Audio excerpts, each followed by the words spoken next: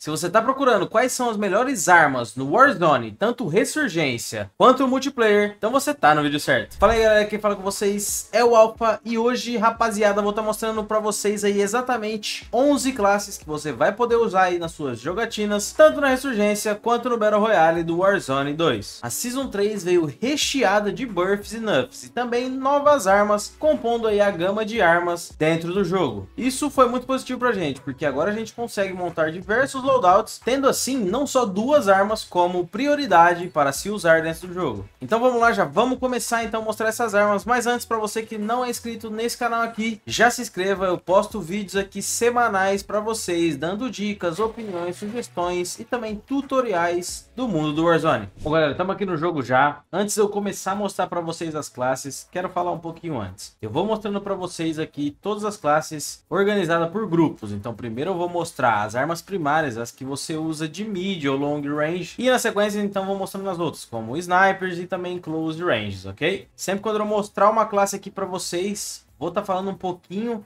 da arma usada, certo? É, para quem é melhor usar, em qual ocasião é melhor usar, se tem algum attachment que consegue substituir essa arma, se ela estiver usando mira, se você consegue usar ela sem, e assim a gente vai dando sequência aí no guia das classes. E para começar, galera, a gente tem uma arma que era muito usada aqui na Season 2 e também na Season 1, que é a Hanset. A Hanset ela foi muito nerfada, certo, ultimamente. Justamente porque ela era uma arma dominante no cenário, certo? Então, armas primárias, você só se falava de Hanset. Dito isso, ela é uma arma que o seu TTK era bem baixo, né? Ela é uma arma que matava bem rápida e ela foi, depois do seu nerf, uma arma que mata super lento. Porém, galera, o TTK tem uma coisa.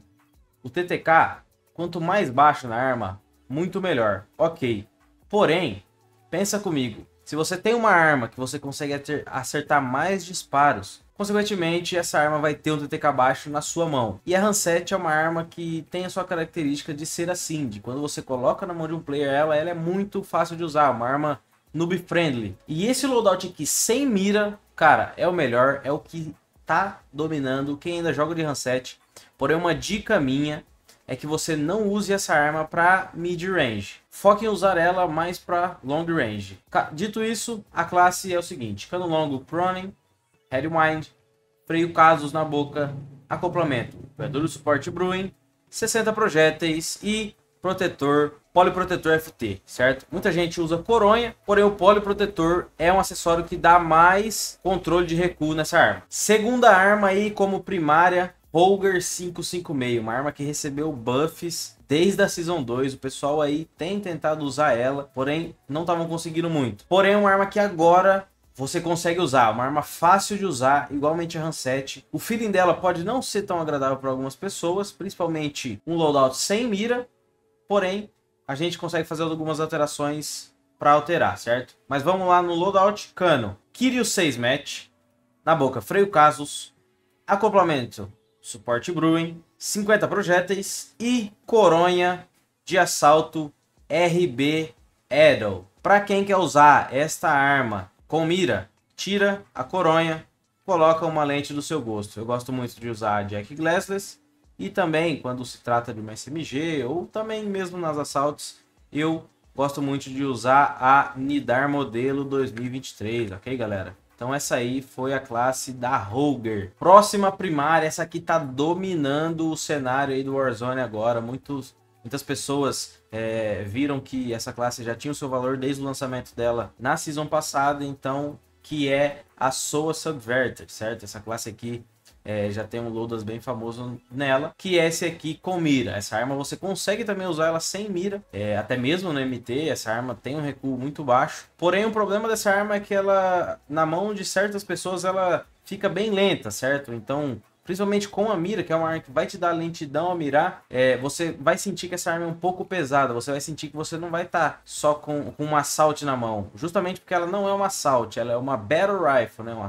uma rifle de, de batalha. Porém, a classe vai ficar o seguinte, cano longo 12 90, boca TYR8, acoplamento padrão FIFA, complemento suporte Brewing, empunhadura, 50 projéteis e mira Jag Glassless. Como eu disse, a classe sem mira dela, você tira a mira e coloca aqui a coronha, a segunda coronha, certo? A pesada motion, ok? É uma arma que é um pouco pesada, mas se você tira a mira, vê se você consegue jogar, você vai ver que essa arma, ela vai se tornar um pouco mais leve, certo? Então, tanto para mirar, quanto também quando você estiver correndo aí com essa arma. Outra primária aqui, essa tem as suas dúvidas, certo? Muitas pessoas têm aí um, um pré-conceito com essa arma, que é a Bruen, certo? Bruen MK9. Porém, galera, essa arma, ela quebra muito boneco. Ela quebra muito. Coisa de três tiros, é, você já tá aí, tipo, a, o feeling dela, a sensação dela, que ela passa que três, dois tiros, você já quebra a plate é, dos seus adversários. Então, é uma arma que é muito, certo? Muito versátil é, em situações de mid e long range. Porém, uma, uma coisa que atrapalha muito nessa arma é o ADS, certo? O tempo, então, para você mirar com essa arma é um pouco mais lento. Coisas que em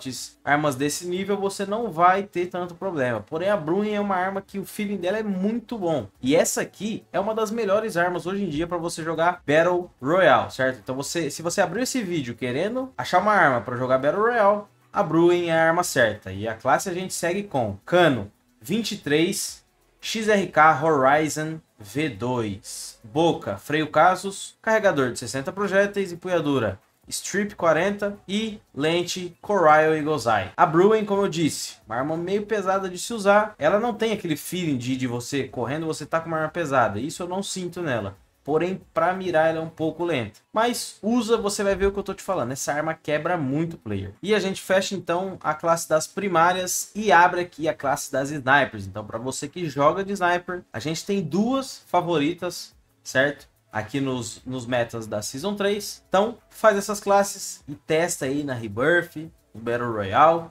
certo? Tem classes muito boas aqui e depois me conta aqui nesse vídeo o que vocês acharam. XRK Stalker, essa é a classe da bichona. Ferrolho, ferrolho leve, XRK Stalker, cano, cano, Fission 60, laser, Corail Las 44 V3, certo? Ó, um dos primeiros laser, ó, sexto laser, boca, silenciador extra grande Sonic e munição .50 de alta granularidade. Galera, essa munição vai fazer você dar aí mais dano, ter um alcance maior de dano na real, certo? Uma arma aí que sem esse acessório, ela fica com 91 metros de dano mínimo e alcance do dano é, efetivo 68 metros, certo? Você colocando essa munição de alta granularidade, o seu disparo ele vai para 100 metros, né, o dano mínimo. Então ajuda muito na XR Stalker, essa é a classe faz e testa. Logo a outra sniper, uma que lançou na Season 3, certo? Uma arma aí que gera muitas, muitas dúvidas, né, de como se usar, principalmente quando você pega uma do chão, essa arma é meio estranha de se usar. Galera, essa arma é estranha de se usar quando você pega do chão porque ela não tem esse acessório aqui, certo? Ferrolho rápido, é uma arma que você tem que carregar o tiro para poder atirar. A Morse, então, essa é a classe de Morse. Testa na ressurgência, principalmente, essa arma que é muito veloz, muito rápida. Chrome 50, laser. SL Razor Walk com laser, coronha leve Icarus, ferrolho rápido e munição balote antimaterial é, HVP, certo?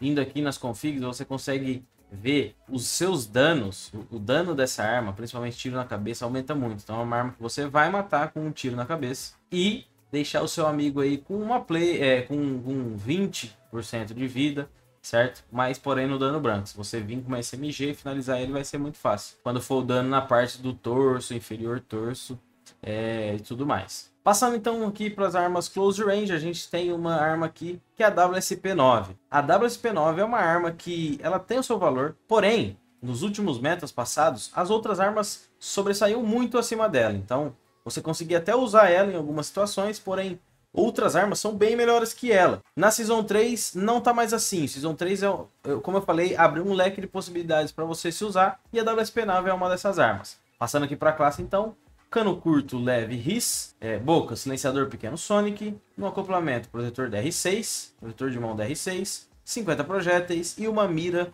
do seu gosto. Eu adoro muito essa Nidar modelo, uma mira muito clean. É, lançou uma mira nova também, que é uma mira aqui bem clássica lá do BO2, né? Para quem jogar vai se lembrar, que é essa mira refletor aqui, reflexo clássico de proximidade. Essa mira aqui reflex, quem jogava BO2 vai se lembrar muito. Essa mira é uma mira nova que também é muito clean, certo? Temos outras opções aqui também para você usar. Tem essa mira de ponto Morse, certo? É uma mira que veio aí com a Sniper Morse, ok? Muito clean também, Ardósia, certo? Entre outras aqui é, SZ Mini, entre outras armas aqui. Porém, tem algumas que o, a retícula, né? O Red Dot não é tão favorável. Então você tem que escolher aí certo. As que tem os pontos é melhor, não tem como, galera. E essa então foi a classe de WSP, né? Então copia aí, usa essa arma que faz um estrago, principalmente em Vondel, que você encontra as pessoas muito de perto, certo? Porém, galera, essa arma tem apenas um defeito. Essa arma tem um tempo para você começar a atirar um pouco mais lento. Então quando você aperta o botão, o botão para começar a disparar, essa arma ela tem um delay para disparar, certo? Esse delay é de 5 milissegundos, porém você consegue sentir coisas que em outras armas você não sente. Mas vê se você acostuma com ela e essa é a classe da WSP 9. Passando aqui para dominadora, certo? Principalmente da season passada, HRM9, uma arma que domina o cenário de close range, principalmente nas ranqueadas. O pessoal só usa ela. Até hoje, só usa ela. Uma arma muito usável, muito versátil. Você consegue dar tiro de perto, de mid nessa arma. O pessoal usa mesmo, não quer nem saber. Cano Torne 90, quebra-chamas compensated, Semini 35 Compensated, protetor de mão DR6 no acoplamento, 50 projéteis e coronha dobrável. Então HRM6, HRM9, então HRM9 uma arma aí muito versátil para você se usar. Testa aí para quem não usa ainda essa arma, que é uma das melhores ainda, certo? Ela recebeu bastante nerf e ela ainda continua sendo boa. É a mesma coisa da Hanset lá na Season 2, Season 1, quando tomou seus nerfs, que era pau a pau com a MTZ, certo? Próxima arma então, Striker 9 Close Range, essa arma aqui que recebeu um buff. De modo geral, nas SMGs, todas re receberam um nerf na velocidade de apontar mira, então aumentaram a velocidade que você aponta mira. Na Striker 9,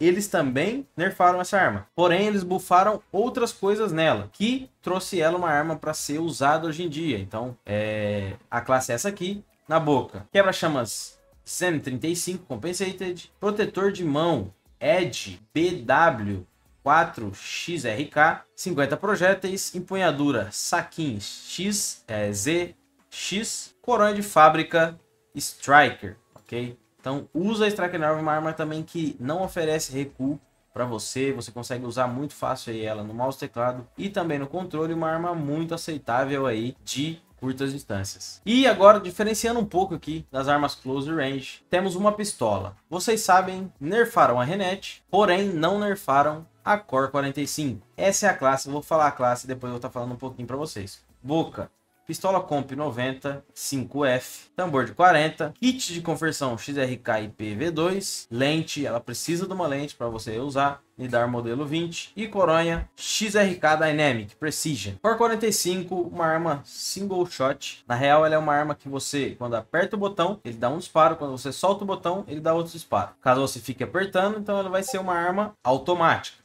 certo? Porém semi-automático, porque você tem que ficar apertando. Mas a cadência dela é uma cadência que assim, quando você aperta e solta, ela vai disparando os disparos. Isso para quem é no MT, para quem usa o mouse, acredito que para quem usa controle também acontece, porém com assistência de miro deve ser menos. É, quando você joga com uma arma semi-automática, você tem que ficar clicando, é, você tem milímetros que você perde da mira, certo? E você ter milímetros perdidos da mira ocasiona em que você erre mais tiros, certo? E de close range isso pode ser fatal, principalmente quando você tá do outro lado com uma pessoa que joga no controle, tá com uma SMG, uma arma automática, certo? Então, é, você consegue perder aí fights. Porém, é uma pistola que ainda tem um dano de close muito alto. Então é uma arma que você vai deletar os seus bonecos, certo? E na Core é exatamente isso. Temos outras versões, né, de armas secundárias que podem ser mais híbridas, né? Você pode usar essa arma tanto de close range como usar ela de média distância, como a HRM9, né, que é uma arma dominadora até hoje. Então, caso for é, do seu gosto, usar uma pistola, tem a Core 45 que está ainda deletando os bonecos. E para fechar aqui o nosso guia das classes da Season 3, a tão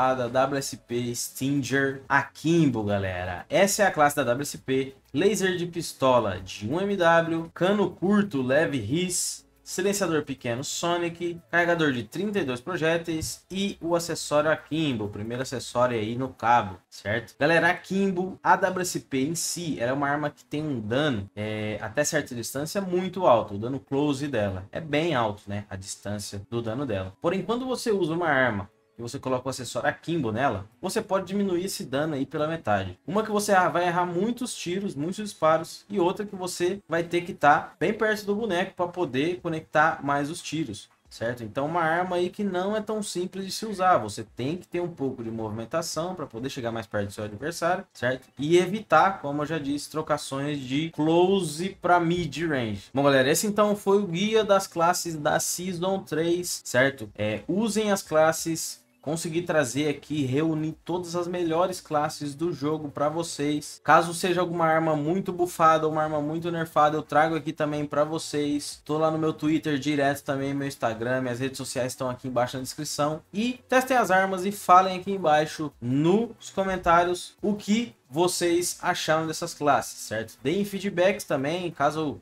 eu coloquei alguma classe e ela foi nerfada logo em seguida, pode estar tá falando aqui pra rapaziada. E não se esqueça de se inscrever aqui nesse canal, acompanhar, porque eu trago diversos tutoriais para você. Do mais é isso, galera. Tamo junto, fiquem com Deus e até o próximo vídeo.